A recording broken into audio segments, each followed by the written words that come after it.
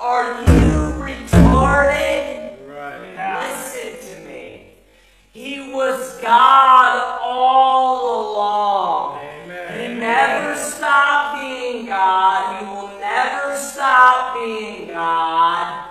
It's like people, they don't want to hear the words that you say. It's really what it is. Mm-hmm. You know, my God, my God,